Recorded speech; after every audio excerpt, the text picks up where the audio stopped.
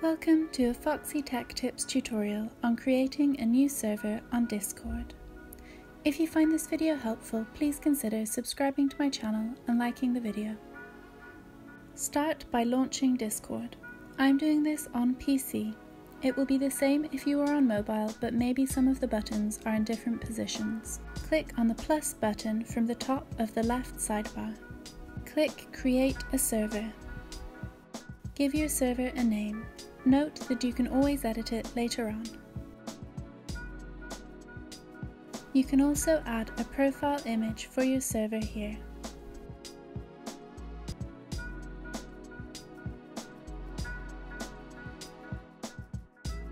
Click Create once that's done.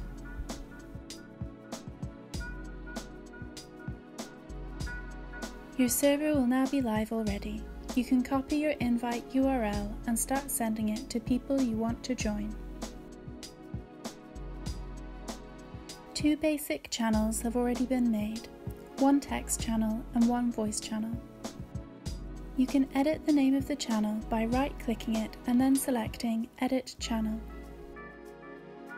You can also give your channel a description so people understand clearly what to discuss there.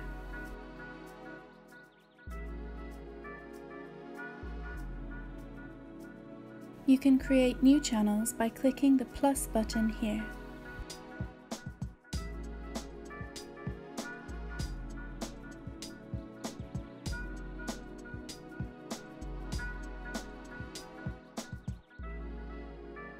If you click that arrow button here beside the server name, you can access the settings for your server. Look through all these settings and adjust them to how you want your server to be run.